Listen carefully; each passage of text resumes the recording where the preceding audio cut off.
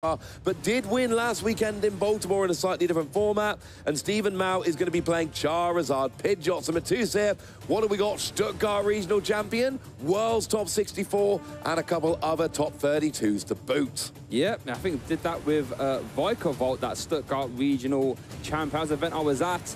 Knows his way around the Pokemon TCG. Currently tests and practices a lot with Henry Brand, the 2019 world champion. But again, Steven Mao knows his way around the Pokemon TCG. 2012 World's Top 16, World's Top 32 2022, EUIC Top 16, and Arnhem Regional Top 4 as well. I was at 2022 Worlds, and I can tell you I was nowhere near the top 16 in that particular event. Um, it was fun, though. That was the last time we were in Hawaii before 2024, just a couple of months ago. So, looks like both players are rolling, and oh, I've seen something spicy. I tell you what, it's listed here as a Gardevoir deck, Shay. Yeah, but it's not, is it? It's not really a Gardevoir, and in fact, uh, no, I am, I am saying, I'm officially saying, we scrub that. It is not a Gardevoir deck. It's not. Because sure, it's got a 3-4-2 Gardevoir line, but you know what it's got a 4-4 line of? What's that? I think I know, but tell the people anyway. It's Banette. We got three yeah. of the EX and one of the single prize that recovers a supporter card from your discard pile. Uh, and then it really does look like a 3-4-2 line of Gardevoir, which is awkward, but essentially the Kirlia is that important. Prime, Ooh. what you see? What you see? What you doing? Steven's prize, that prime catcher. Oh my goodness, the ace back, and it is at the top as well. Win and in. Here we go. Swiss round six is about to get started. Mateusz on the left versus Steven. Let's see how we go. And Steven has started that one copy of Rotom V in the active, but we'll start the turn with a Buddy Buddy Poffin. Not too bad. That Rotom is often something you want to use on turn one anyway here. So you go and search out a couple of basics. And being this Charizard deck, you want to go and get Pidgey and Charmander nice and early. The deck, generally speaking, goes like this. You've got your Pidgeot, which searches any card during your turn. You've got your Charizard that does big damage, accelerates energy to itself with its ability, and becomes stronger the more prizes your opponent has taken with a bit of cheeky Dusknoir thrown in there, and Briar, and Radiant Charizard. There's a few tricks, but what, what can you tell me about Banette, Shay? Banette is a very, very fun card, and Mateusz loves a little bit of item lock here because that's what Banette likes to do. With its uh, everlasting darkness attack for one psychic energy, does 30 damage and stops your opponent from any item cards next turn. Worth noting as well that Poltergeist attack can really add up from Banette, which does 60 for each trainer card in your opponent's hand. Yeah, so Steven there has got the Pidgey and the Charmander. Looked like he was, mm, uh, excuse me, just, you know, pointing towards that Rotom, but it looks like considering whether we play an Ultra Ball, we do play an Ultra Ball. Always a big consideration whether you save it to try and get a stage two next turn. But it does look like Steven you're really looking for one more basic here, really looking for that over anything else. It is a second Charmander, really trying to make sure that they get that Charizard going nice and early. Worth noting, off that Ultra Ball, we do see that Dusclops hitting a discard pass. Steven does play a one, well, a two, one, one line, I should say. So there will be no Dusclops available as unless any Super Rod is played. But I was going to see an end of turn over the instant charge, that you draw the top three cards of your deck, but it ends your turn. And at this point, here's the deal. Does Steven know that Mateusz is playing a Banette deck? Or is he still thinking it's a regular Gardevoir deck? He knows now because that Ultra Ball did discard a copy of Banette EX. And now Mateusz will be able to sort of look through the deck, work out exactly what's prized and what isn't. And the fact that Steven hasn't immediately picked up that Banette says he probably saw it. When you're on the top tables, you do tend to see what the other top players are playing. So it looks like here we got an Ultra Ball, and it's, you know, standard turn one deck search. You've got one Ralts on the field. What else can you get? Yep, fantastic there. Mateusz is going to just do a little bit of prize checking there as well. There seems to be no sort of super obvious answers here off this early Ultra Ball. Mew EX obviously can let you draw some cards via that restart ability. You can also attack in the Gardevoir deck very easily, that genome hacking. Yep. And you use your one of your opponent's active Pokemon's attacks as this attack. Shout out to the crew backstage for putting that print of Mew EX Yeah. up. The viewers coming out there, absolutely phenomenal. But there's quite a lot of his needs here. Obviously, you're trying to get some Shuppet down if you're thinking Banette can work in this matchup. You need to get, you know, another Ralts down if you're going for Gardevoir here. There's quite a lot you really need to try and establish when you're moving forward.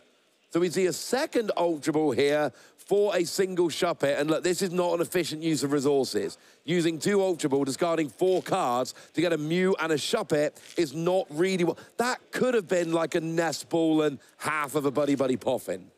Yeah, I mean, not the most efficient. This restart could be really important, actually. I haven't had a chance to see what else is in Mateusz's hand there, but it's going to have to be pretty important to get sort of get out of this. We do a basic energy, as it were. So restart for three.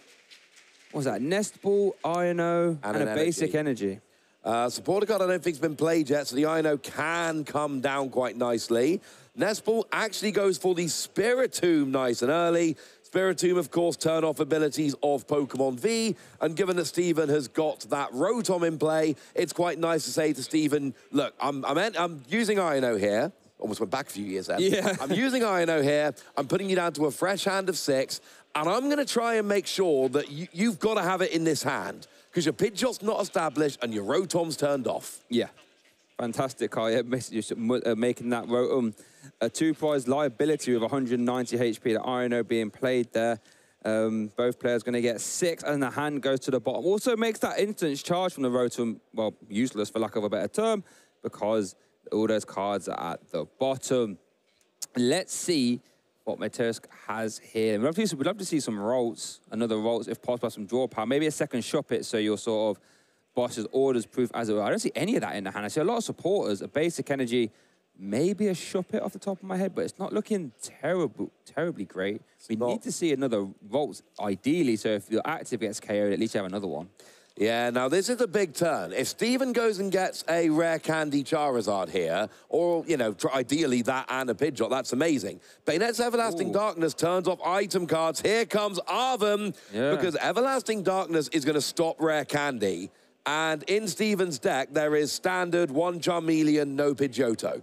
So you need to get your stage twos established before Mateusz can go and turn it off. Because Everlasting Darkness, when you haven't had a rare candy yet, is brutal. So here's the rare candy to Steven. Oh, yeah, there's an Ultra Ball in hand. There we go. Oh, wow. So that means Steve's going to do exactly what he needs to do and sort of play those item cards before they're super, well, before they're locked off, I should say. So it looks like we're going to see that rare candy into that Pidgeot here. It's going to activate quick search. And I tell you what, when you get, let's say you do get item locked now uh, via Everlasting Darkness, if you can just quick search whatever you need anyway, you have to sort of imagine that sort of really nullifies the effect of the Everlasting Darkness. And I thought I did spy a rare candy in Steven's hand. Right- Right now, we see him eyeing up Charizard and free fire energy. That means that there is going to be rare candy, Charizard, get the energy out, and that is going to be huge. Everlasting Darkness only does 30 damage. Yes. It's great when your opponent isn't set up, but it becomes much weaker very quickly in the middle of the game.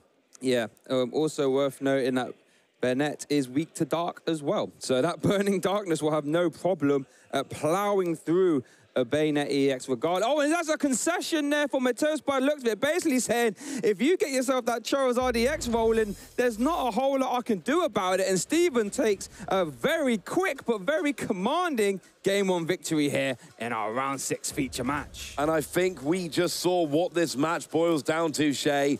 Basically, Banette cannot stand up against Charizard. No. Two prize Pokemon, weak to darkness. When Charizard comes out, Banette's like, nah, mate, I'm good. We're Yeah, yeah, that's pretty much it. And obviously, we know that your Gardevoir, similar position, Yep. two prize Pokemon, weak to darkness. You need everlasting darkness. You need it early and often. If your opponent gets a Charizard out, you probably lose the game. Yeah, it's just, it's tough and um, not 100% sure what else Bates could do there, but going to give himself as much time, as much time as possible for a game two and three, and let's see what he can do. But if you're Steven now, you're thinking, even have to announce an attack and I win that game. That's not bad, is it? You know what I mean? You, you, you don't really get many of those games, let's be honest. So, Reminds me of a game we had with Tord uh, last season, or maybe the end of the season before, where he was playing a Uh, he's playing something that had no answer to Duraludon. Oh, it was Lugia. It was there we go. top four, I believe that yes. was. Yeah. Lugia came down, got the parasol, and the second Lugia had, uh, excuse me, the second um, Duraludon. Duraludon, thank you, had the parasol attached. Tord just went, no, I'm good. Let's scoop. Let's let's roll. Let's game. And it was that simple. It looks like we got a similar situation here, but given that this is game two, you've got to think Mateusz is going to play it out a little bit longer, see if there's an opening. Well, you know, if Matuska's going first, he can always do Enveloping Darkness, provided you get Banette into play turn two, and prevent any rare candy from ever being played. And it's worth noting, as both players do set up, Steven doesn't play any TM Evolution, so won't be able to Arven out that. We do see a Pidgey, a Shuppet, and a Kirlia prize there. But let's have it. So Mateusz is going first, has led the Shuppet as well. So it's going to be very easy to get Enveloping Darkness out nice and early. But yeah, Steven doesn't play TM Evolution, Ross. We can't see Arven Evolution get you your Pokemon to play that way. So if we do see the item lock come out really early, might be able to slow Steven down. His only option then would be a Charmeleon. I'm looking at Gusting and Mateusz's deck. We've got a Prime Catcher and two bosses orders because you need to make sure that the second Charmeleon hits a field, you gust it and KO it. Yes. But also worth noting as well, Metu's list is a little bit sneaky because we do see the Radiant Alakazam, right? That can move damage around, two damage via Painful Spoons. Yep. And we also see the Gravity Gemstone, which when, it's, when the Pokemon it's attached to is in the active spot, the, active, the retreat cost of both active Pokemon is one colorless more. So what we could see, if Steven puts down a Pokemon that isn't easy to maneuver, we can see it getting gusted into the active. We can see the Gravity Gemstone to sort of lock it in there, giving it an extra retreat cost. And then we can see the Raging Alakazam to painful spoon the damage off the active to where you want it to be. So if Steven tries to slowly develop a Charmeleon on the bench, Metus doesn't really actually have to gust it to start softening it up via that little combo. So that's something we have to keep an eye out for. No, it absolutely is. That is one we could have a bit of a play with. So now we get the energy onto the Shuppet. We got Spiritomb on the bench already, but that means there will be no Rotom whatsoever. Mateusz now knows that is an option for Steven, or at least it was before the Spiritomb hit the bench. Yes, so this is going to be really interesting. Steven needs to have a, a, a, well, just a great turn one, realistically. Otherwise, this could get out of hand really fast. We do see a Lost Vacuum. We do see a Forest Seal Stone. We see an Ultra Ball and a Body Body Pop. Okay, that's not bad, actually.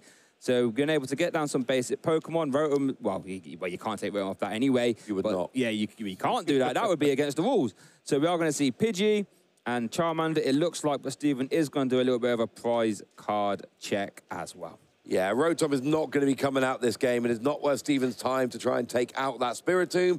And while the Spiritomb's there, Rotom is just 190 HP, two-prize Pokemon that does nothing. it is not worth the effort, frankly. Guess it could be a Forest Seal Stone target if nothing else, but that's a bit sad if that's what you have to put it down for, unless you're going to win the game instantly. Buddy Buddy Poffin does conclude, though. Going to grab a Charmander and the Pidgey.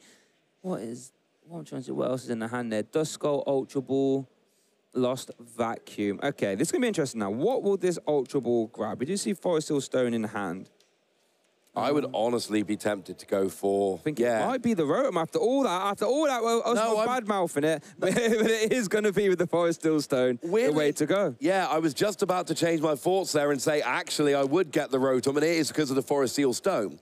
You need that one Charmeleon in your deck as fast as physically possible.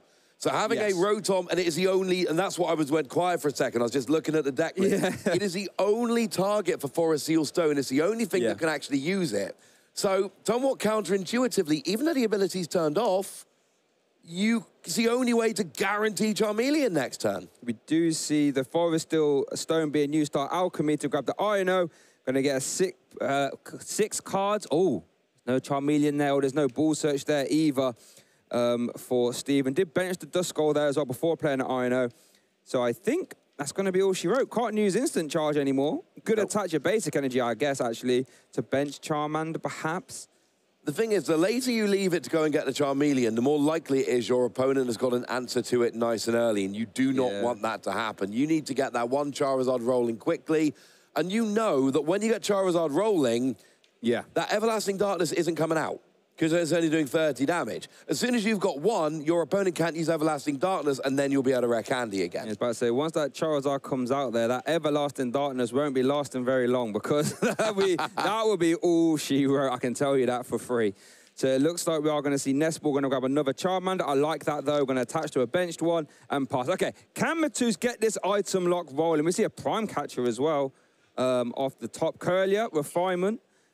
Going to maybe use it. I see Trekking Shoes in the hand as well. So we do see some cards we can use. There's a Gardevoir. Trekking Shoes first. It really popping.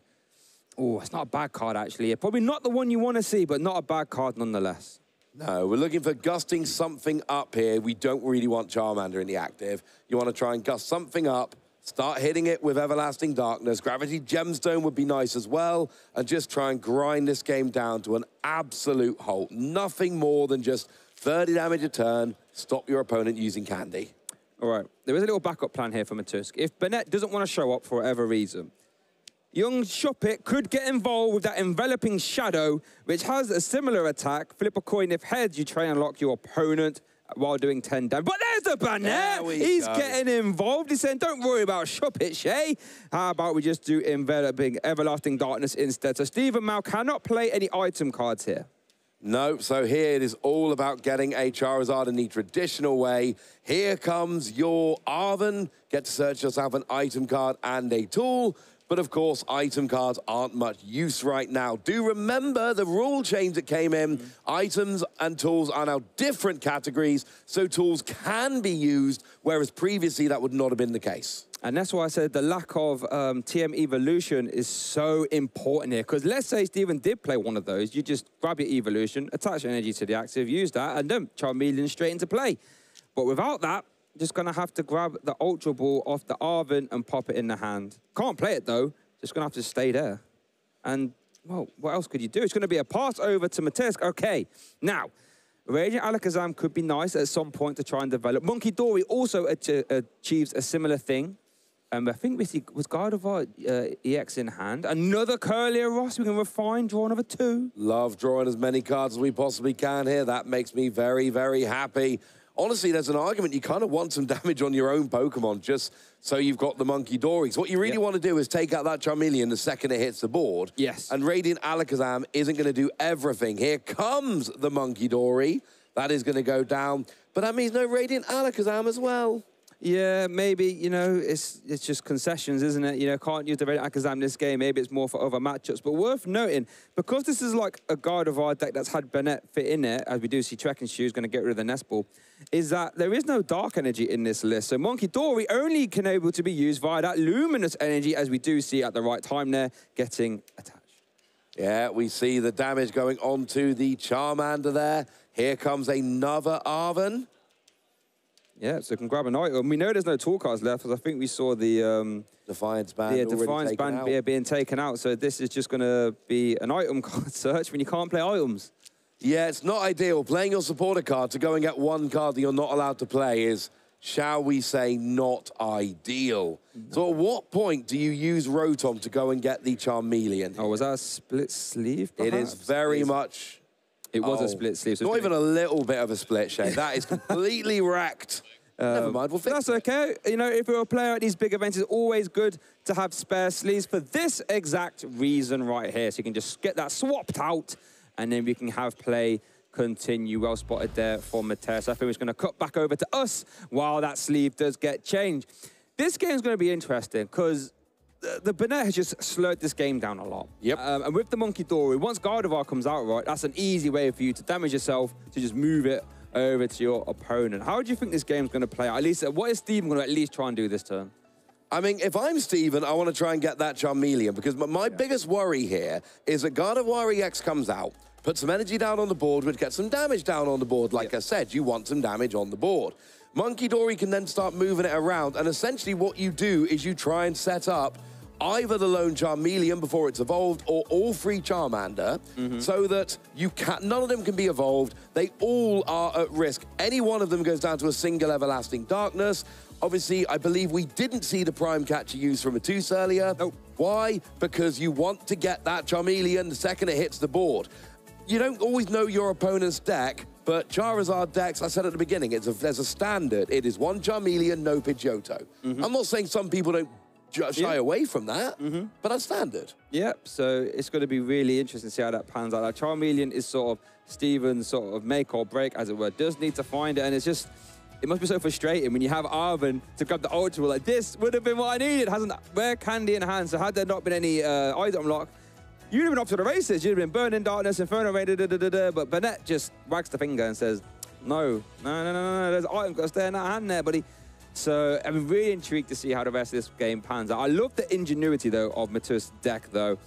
I you know, having it. the luminous energy, for example, having the, the gravitational stone, it's just yeah. so fun.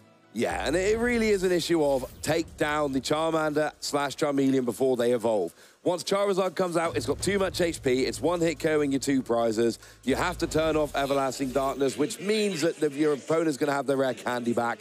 When the Charizard hits the board, the game is basically over. We saw that in game one.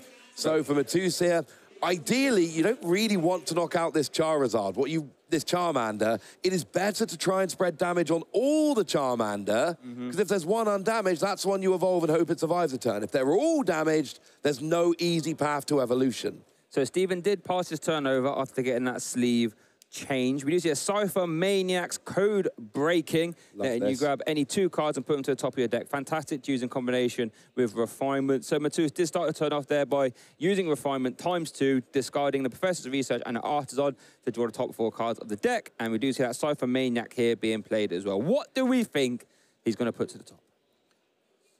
Honestly, right now, you're trying to get a Gardevoir EX out. I would imagine because that's how you get the combo rolling with Munkidori. Mm -hmm. Gardevoir EX, and if there isn't enough energy in the discard, a way to do that as well.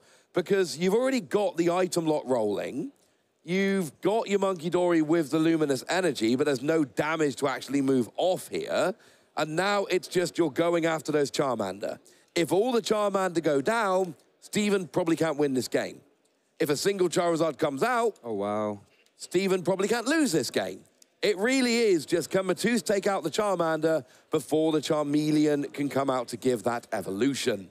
So it looks like Steven, all he could do is pass as Mateusz was able to just grab the card he took off the Cypher, uh, Ciphermaniac deciphering, and then discard it, and then gets himself another Banette here as well. Mateusz is off to the race, whatever he likes to do he can do. There is the guard of Gardevoir. That's what we mentioned there, Ross. So now Psychic Embrace is now live, letting you attach any extra energy, well, Psychic energy from your discard pile to your Psychic types, however many you like. And if you do, you put two damage counters. We're going to swap around the Banette. You're thinking, why are we doing that for? What's the point? So now we can use the Adrenabrain ability from the Munkidori to start softening up the Charmanders on the bench. Yeah, essentially we didn't have enough energy in the discard, so you attach one discard, which puts two energy in the discard, which means you can pop it on the active, and then you can move the full free damage counters over to that Charmander. And that's Ooh. essentially what you're going to do here you don't want to KO that Rotom V. Having that Rotom V in the active is perfect. You want to seven hit KO it, Oh, and we're seeing the same trick again. There's yep. not enough energy in the discard, so you retreat to put it in there,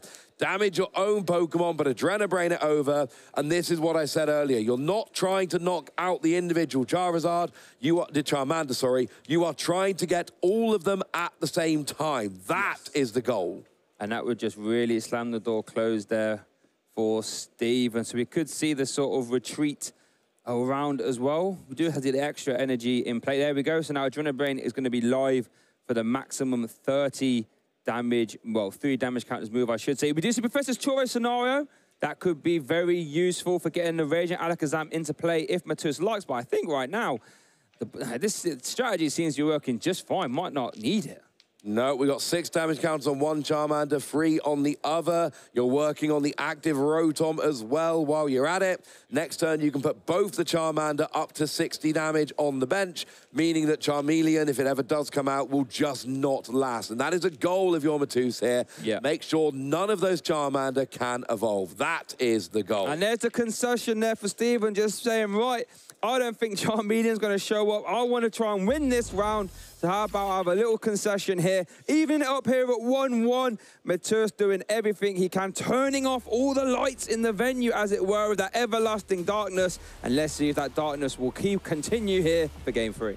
Right, I've got an awkward question, Shay. I'm not sure if you are familiar with this, but I need to ask the question. Okay. We didn't see Rotom V using the tool that turn. We didn't see Forest Seal Stone. Yeah.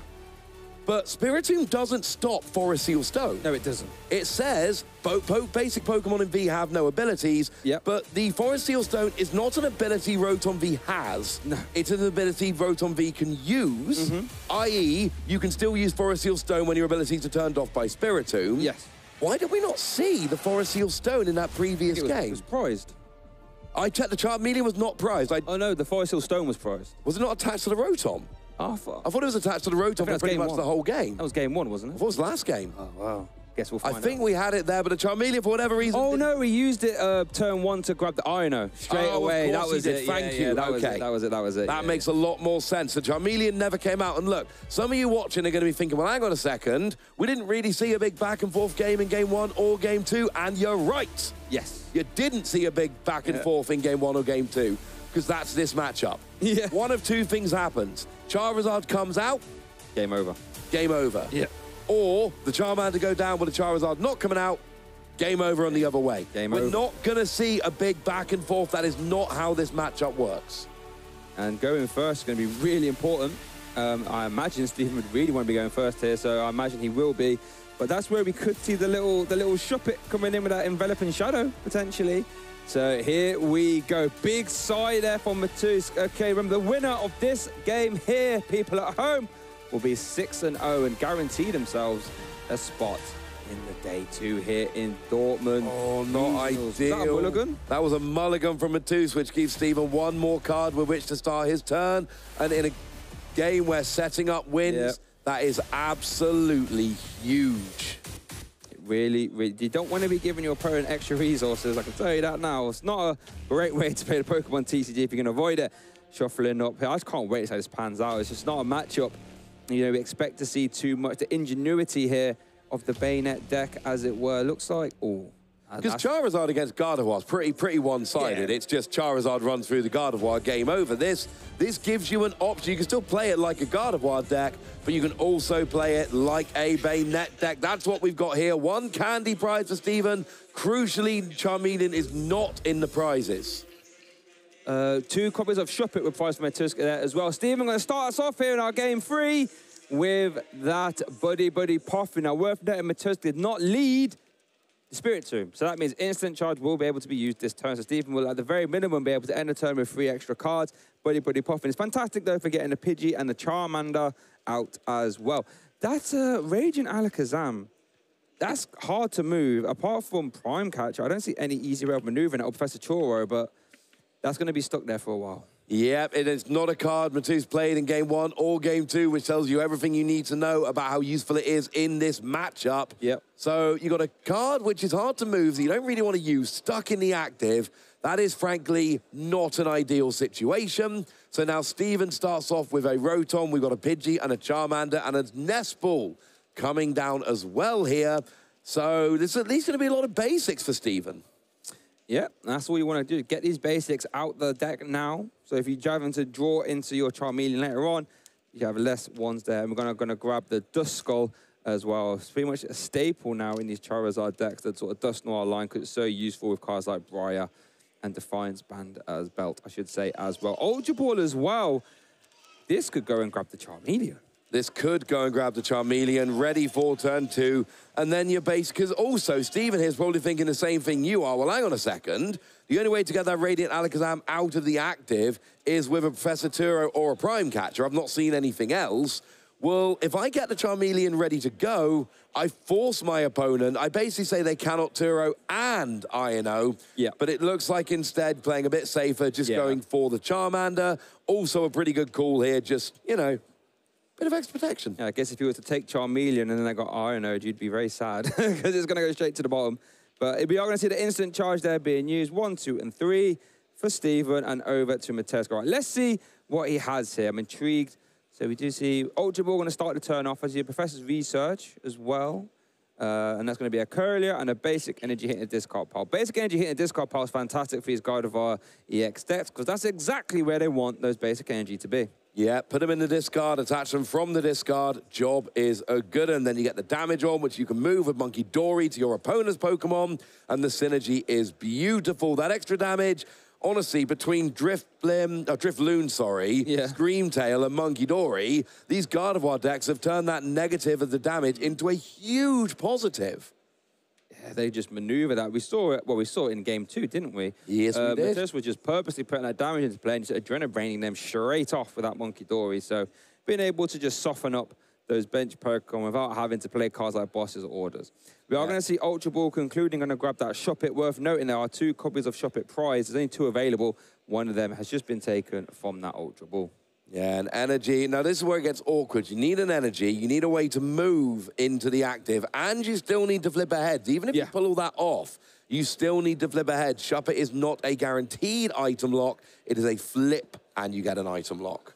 Worth noting. I'm loving that. Uh, was it trickle trickle boost uh, promo there on the Shuppet? Oh, trickle trade That's the one. booster Trickle bundle. trade. That's the one. The booster bundle. Come on. Love seeing that little pumpkin there on that corner of the Shuppet. So it looks like we are going to see the shop being taken. I think Mateusz was just doing a little bit of a price check search. Don't mind it. That's what you're going to do when you get this far into an event. You're doing well. So. So there is a world in which we see Professor Turo scenario, attach, enveloping shadow, heads. Uh, and Mateusz could be straight back in the driver's seat if that happens, but it's a risky play. We're asking a lot at this stage for that to come off. And you're right, that is absolutely in the realms of possibility. There's another world where Mateusz doesn't pull that off, and Steven does what Yeah. he did in game one, where they go Candy, Pidgeot, Candy, Charizard, yay, I win the game. Oh, what we are seeing! Oh, we actually got Here we go! Oh, a Oh. Okay, here's the flip. Huge Here we go, flip. big coin flip. Here we go. It's a And heads. little Shuppet that could. Here we go. With that enveloping shadow turning, making it dark here in the venue. Steven cannot play any item card. Did top deck the Charmeleon though, might I say. Oh. But oh wow, the little Shuppet. Look at that, there's a lone Shuppet there, everyone at home. If that Shuppet goes down, it would have been game over. But the Charmeleon has been found this Steven. So the pendulum of power might be swinging back, but oh my goodness, my heart rate couldn't handle it after that head. Oh, that's 60 HP on that Shuppet. Very important right now. There is actually a lone Shuppet in play. Uh, but the Dusclops, good news. Wait a second. Oh, Does 50. yeah, but then Pidgey Gus for 20? Could we see Dusclops doing 50 to Shuppet and then Pidgey doing 20 and If then getting get- the KO? If you can get the Rotom out the active. I think I don't think there's a way to get the Rotom out the active, but I'm just saying. Yeah, that, yeah, we could. Look, imagine for- that. Shuppet into Pidgey for game. That will. Who had that on their bingo card. Sh- uh, Spiritomb has come down. Professor's research has been played there. Restart was you. So Mateusz will be able to start developing a board here. Oh, this is a game three, folks. Here we go. Oh, there was a world in which you could potentially Thornton into a Pidgey, but that was about the only place Steven had to pull off that last turn. So here we go. We've got. Have we got the Banette EX yet? No, we No, haven't got haven't it got just yet. We do have a Shuppet and a Route off of the Buddy Buddy Poffin, though. So that's all well and good. That could have been a little bit nerve-wracking for Mateusz last term. But the good news is starting to get all the basics out now. Oh, okay. Now, we would love to see a Banette here. We don't want to have to be using Shuppet again. We Is there really Ultra don't. Board hand? I think there was. Oh, I see trekking shoes. I see Maybe there wasn't. Okay. Trekking shoes for Banette. Oh, mm, oh, oh. oh, no, it's a counter catch. I apologize. There's no. Okay, this is. There's, there's no out. Luminous Energy and Munkidori, and there's no out to a Banette yet. They took that. Oh, but there was an ultra ball off the trekking shoes. Oh my goodness. The restart into the research, into the trekking shoes, into the ultra ball. This is a game three, everybody. Luminous Energy attached to the bench and Everlasting Darkness. Steven Mao is still item locked. That was a pretty brutal Ultra Ball, though. Had to get rid of a Munkidori and a Gardevoir EX, both cards that were very, very useful in the previous game. And Steven here, here's the deal. You don't have item cards, but you still have access to supporters. Arven. You don't get to use your Rotom. You don't have Pidgeot. Arven off the top. Sorry to cut you off there, though. So Arven could find the Forest Seal Stone, and that could grab the Charizard EX, I believe. Yes, that feels like it would work. We said about the interaction between games there. It turns Oh. off abilities always in Iono as well here. Okay, maybe the Forest Seal Stone isn't available, I would imagine. No, Forest Seal Stone can be played under item lock. It can be used under Spiritomb lock. It's a bit awkward, but it does work. Here's a rare candy. That's useless. Ooh. Nest Ball, useless. Boss's orders, and another useless Nest Ball here. Oh, no, under normal circumstances, that Ultra Ball be exactly what Steven is looking for. But thanks to Everlasting Darkness, remember, the uh, item cards cannot be played. So there's actually no playable cards there in that hand. And this is where it gets awkward. You're not going to have Munkidori available if you're Mateusz. That what you saw last game is not coming back this game. Firstly, there's no rare candy and there's no Kirlia on the board. Secondly, you don't have space for the Munkidori. It, it's awkward. You're actually going to have to do it with Everlasting Darkness. So you need to kind of gust now and free hit KO Charmeleon. Yeah, it's not going to be the easy sort of bench dissecting that we saw in game one with that Professor Turo being played. I don't think there's any power pads, so we won't be able to reuse that again. Maybe we can start to see the gravitational gem, uh, the gravity gemstone being used to try and lock that Rotom there. That could also be an option. But uh, definitely not going to be the easy way out. We do see another Iono being played here. Okay, now that's interesting because we know, well, Mateusz can guess that Steven didn't draw very well off Yep. that Iono. So Didn't this could be risky. And with the cards going to the bottom of the deck, you are seeing new Yes. cards every time. This is getting Steven closer to a potential Charizard here. Ooh, I don't know. Two Pidgeot, a boss's orders, and a Buddy Buddy Poffin, I believe that is. Yeah, and an Ultra Ball at the front, but you're right there. There is no Charizard in hand right now. Prime Catcher would be prime, but it's not there. You just see the everlasting darkness there from a Charizard off the top, Ross. He's got it off at the top. Here comes a Charizard. Now we use the ability, and oh, this is a point where it gets awkward. Now, is there any way that Mateusz can lock that Rotom in the active, move the damage off with Alakazam, Yep. and play an incredibly Yeah. Oh, for sure. That's definitely possible. That's what the Raging Alakazam's for. But you're doing free damage a turn, and you're healing... You're basically 20. taking 20 Yeah, off. yeah. So you're still leaving 10 on. It's not a perfect. Moot point. It's already been retreated with the fire energy. Now Charizard comes up. We're going to see the KO on the Banette. We don't need the early concession like we did in game one, but is there any way Mateusz comes back here? You can no longer use Everlasting Darkness. That attack no longer does enough damage. Do you have an attacker that can take this Charizard out? You've taken no prizes so far. I think the only way we can get out of this is if we see a, a boss's order or something to that effect into the Rotom, lock it in the active via the Gravity Gemstone, and just, like you said, try and maneuver the damage off. I don't, there's no way to sort of get rid of this Charizard EX immediately. Have to go around it. No, no, no- mistake about it. As we do see the Super, we're going to get back that Radiant Alakazam. That's going to be crucial for that game plan to work, as well as the um, Munkidori and the Gardevoir EX. That is Mateusz's only play here. We cannot just let this Charizard sit in the active. It's sitting for weakness. It detonates everything it wants. It does. There's no rare candy, though, in Mateusz's list. There's a lot has to be cut to make room for the Banette. There's no rare candy, so you are going to have to evolve up the traditional way. Was it a Kirlia last turn, or was that a this turn evolution?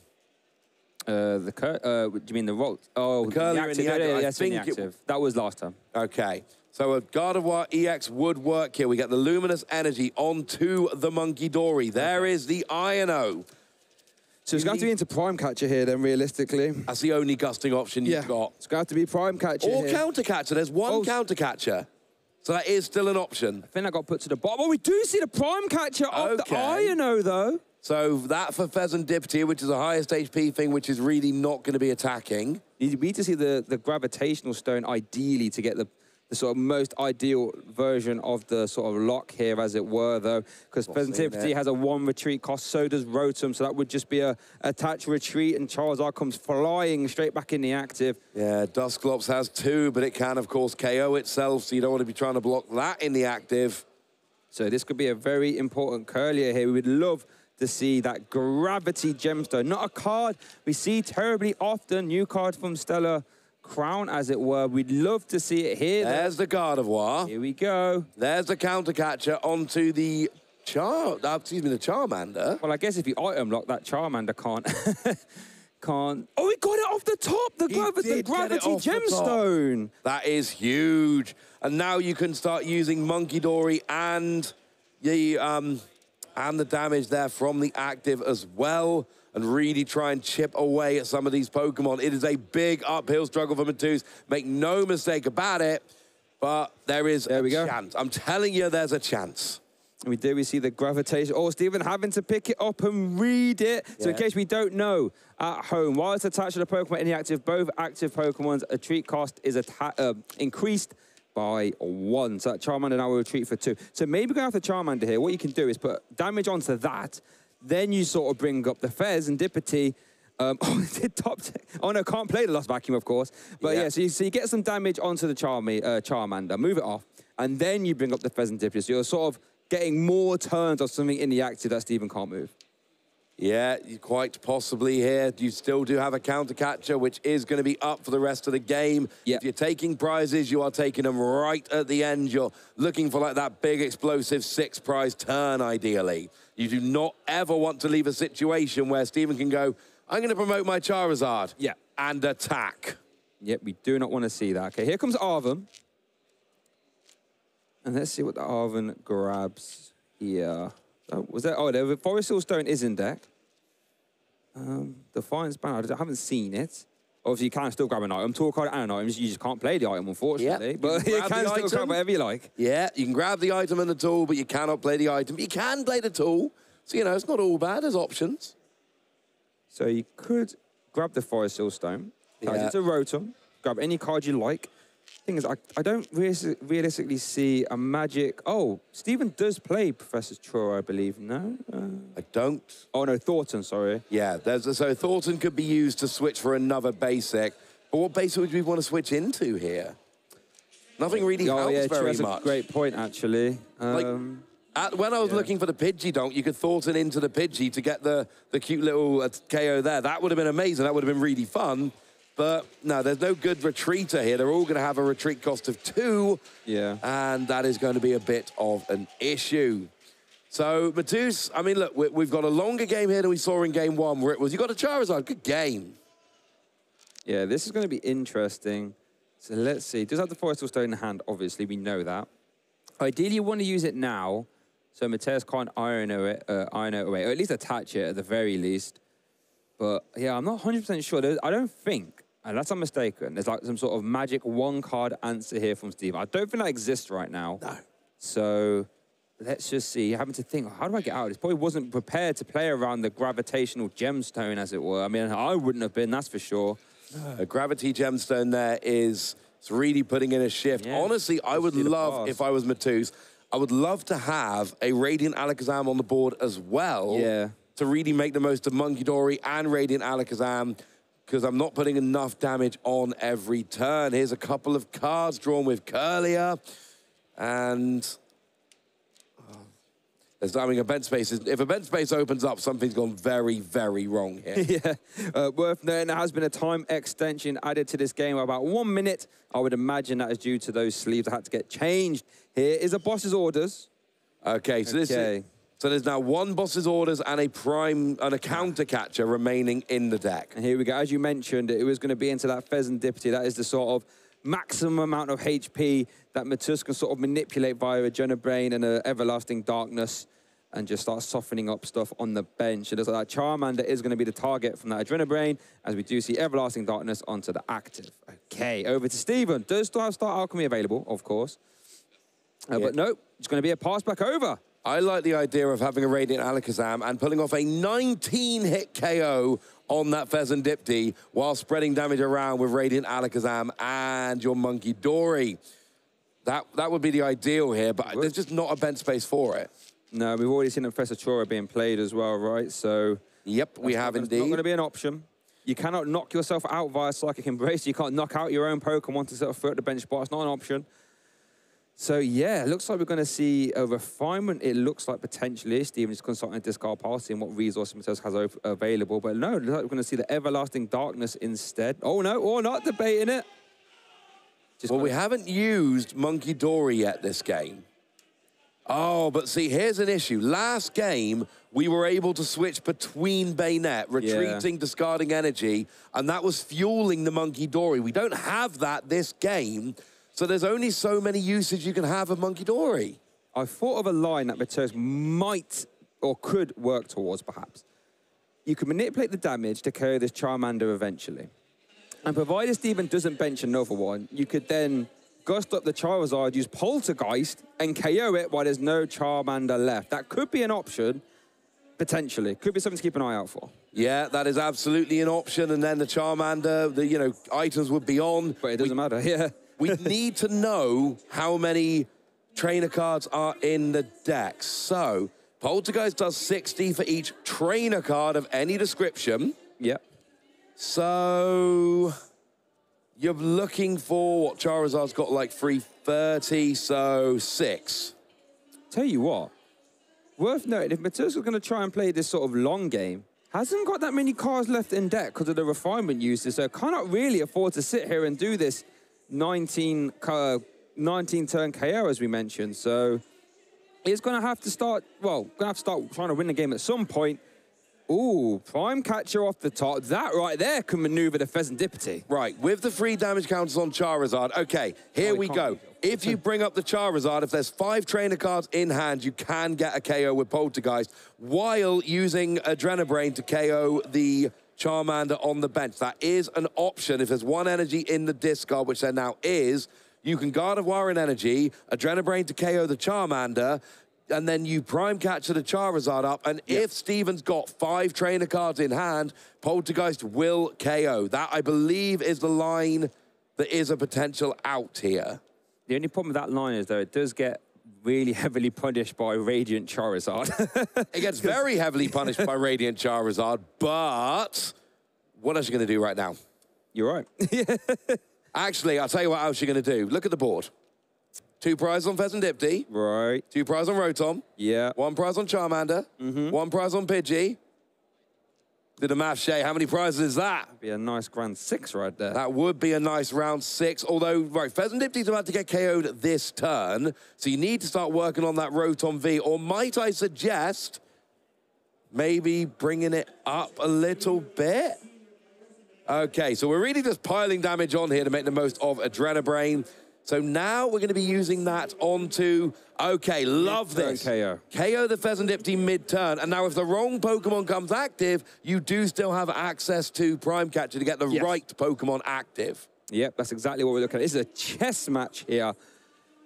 And yeah, I guess you could always promote the Dusclops because you can just KO it and get it straight back out the active at the very least. That would give Mateusz a prize card though. I love the cheekiness of this play. Mateusz is going to prime catcher right now. We know this. It was just like, if you put the right Pokemon active, yeah. I can save my prime catcher. But we see the retreat. That's basically saying when I prime catcher, my Banette becomes back active again. But I love the cheekiness of hoping your yeah. opponent puts oh. a one active. Oh, of course. They reduce you to prime catcher exactly as you said. Has to be on the Rotom. It's the only play here. And this, I think, is how the game ends if Mateusz is going to win. We going to do 30 damage of Everlasting Darkness. The Rotom is not KO'd yet, but is three turns away from being KO'd.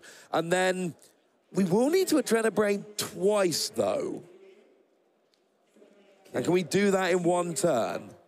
Adrenabrain twice? Well, we need to KO both the Charmander and the Pidgey here for the six prize for the for the six prizes total. Oh, okay. So you're going to KO the Rotom with Everlasting Darkness in three turns time. Yeah. But you're going to need to Adrenabrain to KO on two different turns, which will open up a bench space for Steven. Might not be an issue, but it's not the ideal way to go about it. It'll probably be all right. So we do see Duskull getting benched as well. We're going to see a pass. How many cards left in, in Mateusz's deck? Is that only two? I feel as if it's going to be on a clock here. Can't obviously deck yourself out. Does he? I guess he might be able to iron her, actually. Doesn't? Uh, it doesn't matter. Uh, Mateusz needs this turn and then two more to okay. win. If there's two cards in deck, that's the perfect number. Mateusz is going to be fine. Mateusz is going to win in two turns okay. from now. Okay. This turn you do 30, next turn you do 30 and KO Pidgey or Charmander, and then the turn after you KO Rotom and Charmander and or Pidgey, and that's the game. It looks like we're going to see a super rod being taken off the Arven. Obviously, can't play that. Oh, okay. If okay, no, Mateusz might have one card too few in deck. He needs three turns from now. Right. I mean, it looks like there's two there, but you know, there could be more. It's hard to tell from this sort of vertical angle. We do see super being taken there off the Arven. Um, Yeah, it's looking rough for Steven. Just going to have to pass it back over. So there's only one card left. Okay. Got to be recovery or something in Mateusz's hand. He's been playing way too carefully Yeah. to lose by deck out here. So now the Charmander goes down, and there is a prize. And now we see the Rotom going up to 130. So two turns from now, we're going to get the win. You can just, yeah, move it off and then poltergeist for game as well into the Rotom. So there's plenty of ways. Oh, yeah, the can still do poltergeist, one turn early. well. Of course you can, Jay. Good shout. Here's Forest Seal Stone. This could grab the Thornton into Fezandipiti, perhaps. Save yourself. Save yourself the active. Oh no, but Thornton swaps the damage as well, doesn't it? So that, would, that wouldn't help. It would unfortunately not make a huge difference here. There's no supporter which is going to switch it like we see with Professor Turo or Penny or things of that nature. They're not in the deck. Hmm. Yeah, this is an interesting one, isn't it? We do see Artisan going to grab the Charmander. Thornton was taken off the Star Alchemy. I uh, don't see what you even thought it into. I'm not seeing any kind of line there. Fez would give you an HP boost mm, at the very least, right? Yeah, but you know you're losing to Poltergeist at this Yeah. point. I mean, look at the hand. There's no way there aren't. Yeah, yeah. What we got? We got 130. We had two.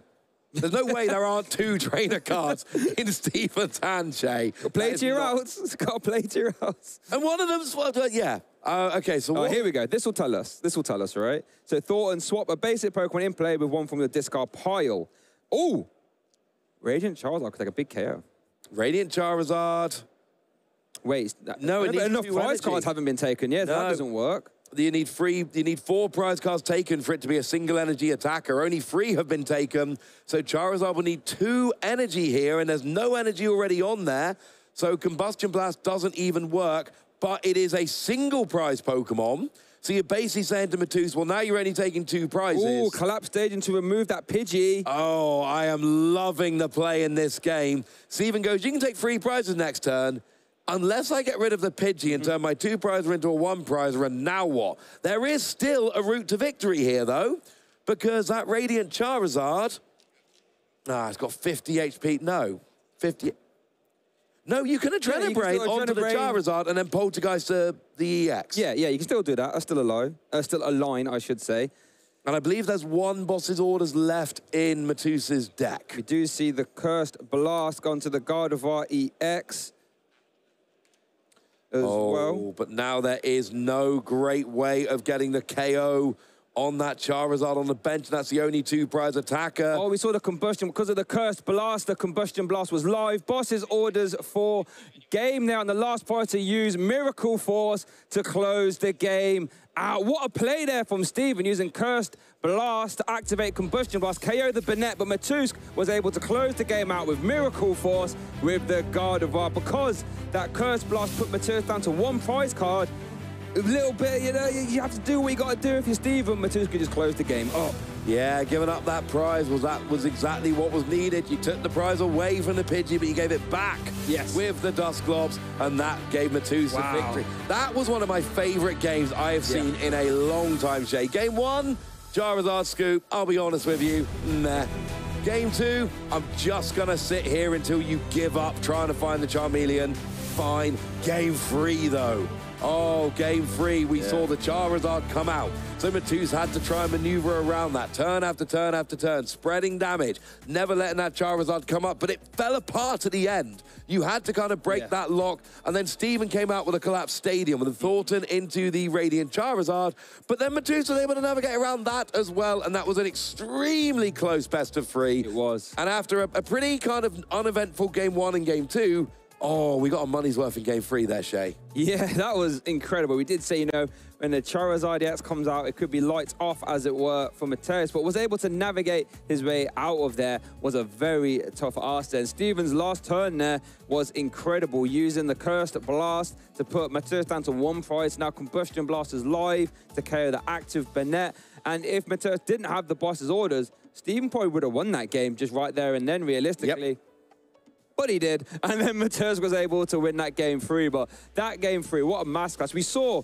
Mateusz, you know, drawn into the gravity gemstone on that exact turn he needed it, was able to use that adrenabrain as much as as much as he needed to as well, and really had to navigate, you know, not being able to have the two Banette out, so wasn't able to do that sort of retreat switching with the psychic embrace to sort of fuel adrenabrain over and over just a masterclass, quite honestly. Oh, no, it was absolutely a masterclass. And the end of that game happened so fast. You know what, Shay? I think we need a replay. Yeah, we do. So let's go back to this game. And, and I'm going to be honest with you, there's not going to be much from game one because game one was not all that much of a game. We might get to see the Charizard coming out. Yeah. But that is about the most we're going to see. We see the Duskull hitting the bench, and then, of course, we are going to see Rare Candy, Charizard, and that was literally yeah, game yeah. one.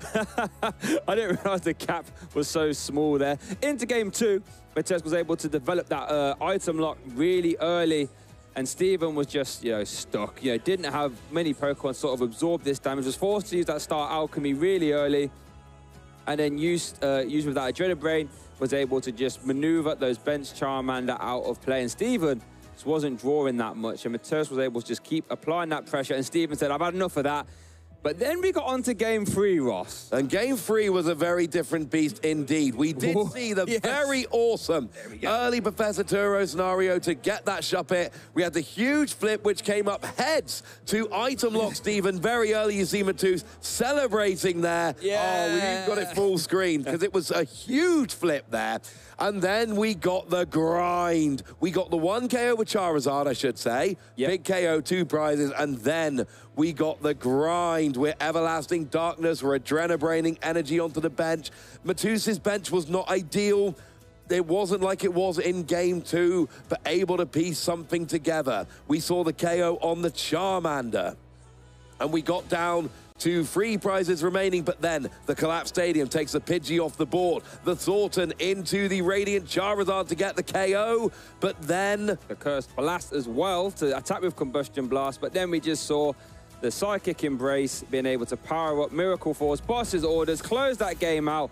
That game three quite honestly that replay for game three could have been so much longer. There was so much sort of to and fro. We didn't even get to see the the gravity gemstone because that was, you know, that was so impactful. He needed, Mateusz needed to find it exactly that turn and was able to do it as well. That game three, golly. that was a great game